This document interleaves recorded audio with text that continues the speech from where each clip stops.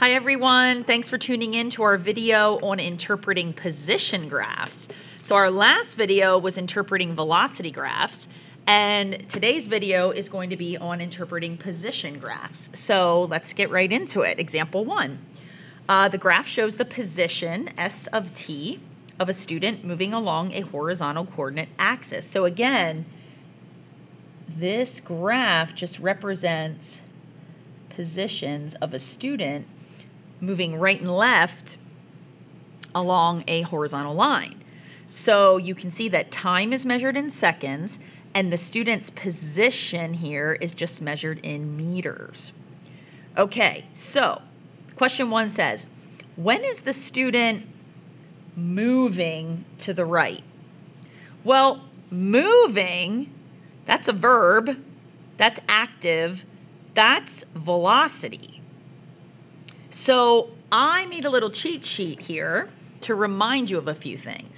So let's remember that v of t, velocity, is given by the first derivative of s. So we can say that s prime of t, so the derivative of the position graph, will give us information about velocity.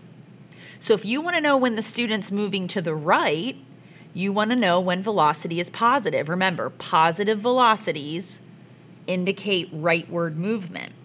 So you want to know where s prime is positive. The derivative of s is positive. Well, derivative, as we've studied, represents slopes of the tangent lines of your graph.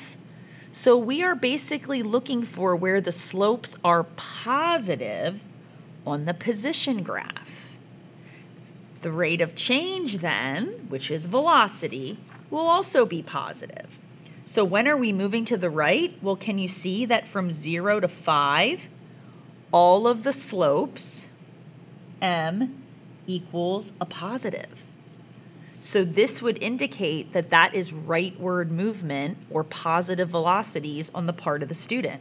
So I'm going to say for t between 0 and 5 seconds, and I am going to leave those open simply because at 5, we're fighting with a positive velocity and a zero velocity because of that corner. And I'm also going to assume that at time zero, when position is zero, we're not actually moving. So I'll just leave these open to the interior of that interval. Okay, number two, when is the student moving to the left? Well, in purple here, you'll see the same idea. The derivative of s gives us v. So leftward movement would be when v is negative, or when s prime is negative, since they're equal. So the slopes of the tangent lines would have to be negative on the graph of s. Well, when you look here at this graph, I don't see any negative slopes. So I'm just going to say the student does not move left.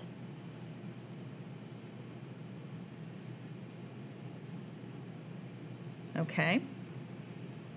We can even put, put a justification there. If the student does not move left since there is no evidence of negative velocity on the graph. Okay. Number three, when is the student standing still? Well, standing still, I didn't have this on my, my cheat sheet, but really I could use the pink here and maybe just go over it in green. Uh, velocity will be zero, indicating standing still, when the derivative, s prime, is zero, so when the slopes are zero. That's standing still when velocity is nothing. And you can see that slope is zero right here between 5 and 10 seconds. Now what I will do, so I'll tag it here between 5 and 10, but I'll actually, well, do I want to close the 10? Let me think about this a second. I definitely don't want to close the 5 because it's fighting with my positive velocity. Since this is my endpoint here, I would say I'm still standing still at 10. So I'm going to go ahead and close that from 5 to 10 seconds. Don't get too bogged down with your equal to's on these inequality symbols. I'll get the numbers at first. We'll work on that as we practice whether to close it or not. That takes a lot of extra thought. Okay, last question here. Graph the student's velocity. You can do this on the graph above or draw a new graph. Okay, so I think we could probably do it up here. If I graph the velocity, I have to graph something that represents the slopes of the tangents here. And since there's just two line segments, this shouldn't be too terribly difficult. I would like to pick maybe a color that pops out a little bit more though. Okay, so I had said that the slope here was positive, but let's get the actual reading. So the slope of this line, it looks like I'm going up 25 and over 5. So I'm going to say the slope is positive 5 meaning that from 0 to 5 seconds, I have to be here at 5. So first part of velocity graph is going to look like this, and that just shows that I'm at a constant velocity of 5 meters per second during the first 5 seconds. And then I stop. I stand still. So my velocity comes down because my slope is 0 here my velocity drops to zero and stays that way all the way through here till the end. So I'm moving steadily five meters per second and then no meters per second. Okay, so that's how you can start to interpret a position graph. Because these y values, let's not forget, these just give us meters. So I, I haven't gained any meters through here. I stayed put. So if I stayed put meter wise, didn't change my meters, then I'm definitely not having a velocity because I'm not moving. Okay, flip it over. We'll do another one. Example two says, the graph shows the position S of t of a student moving along a horizontal coordinate axis. Same idea, right, left, right, left. These are the positions in meters over time. So every one of these y values just represents a meter reading. So again, if you kind of want to think about it, so at when time was zero, this student is 20 meters out, out away from, let's say, like the middle of the line or the origin. They're 20 meters out. And it looks like they stay there for the first second. They don't move from that position because at one second, they're still at 20 meters. And then they start to change their position. They're moving to the right because at two seconds, they're at 40 meters. At three seconds, they're at 60 meters. So they've moved to the right. And then from three to five seconds, they stay put at 60 meters. The position is unchanging. And then it looks like they turn around, they start to come back toward wherever they started because their position starts to shrink again back to 40 and eventually to 20. So it looks like they get back to where they started. But the first question says, when is the student moving to the right? Well, we're moving to the right when the velocity is positive. Velocity is the slope of S, so right here. When the slope is positive, the velocity is positive. Remember, this is S. So this is S prime is the slope, which is V.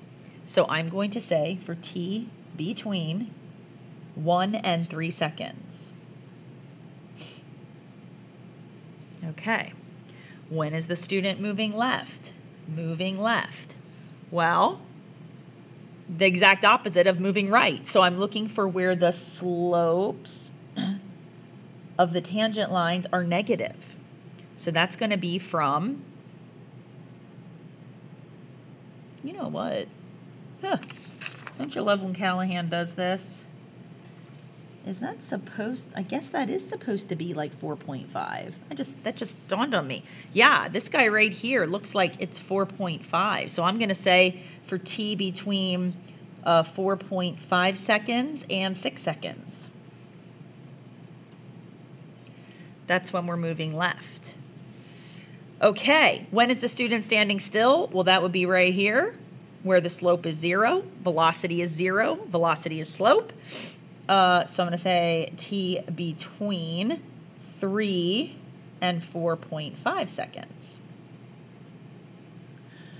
Okay, and then we have two graphs here. They want us to graph the velocity and graph the speed. So let's start by graphing velocity. Okay, again, I can do this right over top of this.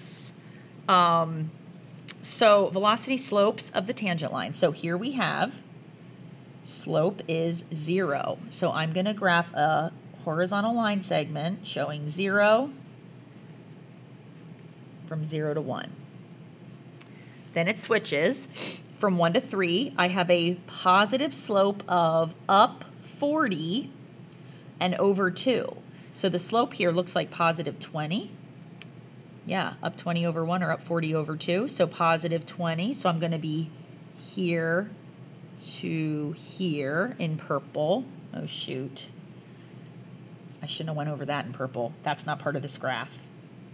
It's just this guy and then this guy and then I'm back to zero from 3 to 4.5. And then what am I? Negative. This almost looks the same. Am I? No, I can't assume that because I'm at 4.5 here. So I'm going to have to find my slope here. If this point is 4.560, and this point here is 620, then my slope would be 60 minus 20 divided by 4.5 minus 6. So that's going to be 40 divided by negative 1.5 which is going to be negative. If I think of negative 1.5 as 40 divided by negative 3 over 2, then that's the same as 40 times 2 thirds, which is, or negative 2 thirds, I should say, which is negative 80 thirds. So, as a decimal, negative 80 divided by 3 is negative, I'm going to say about negative 26.7.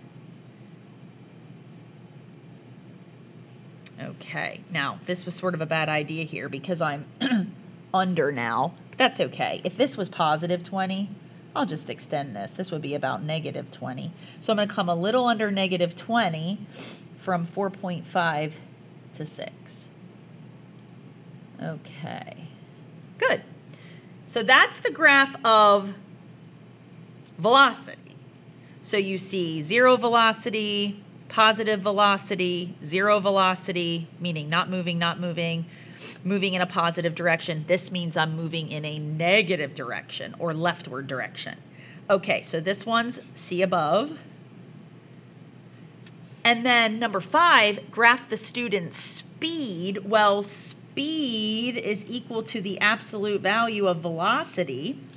So all I have to do is take my purple graph and reflect those parts that are under the t-axis, reflect them over. So it's really simple to graph velocity, or yeah, speed.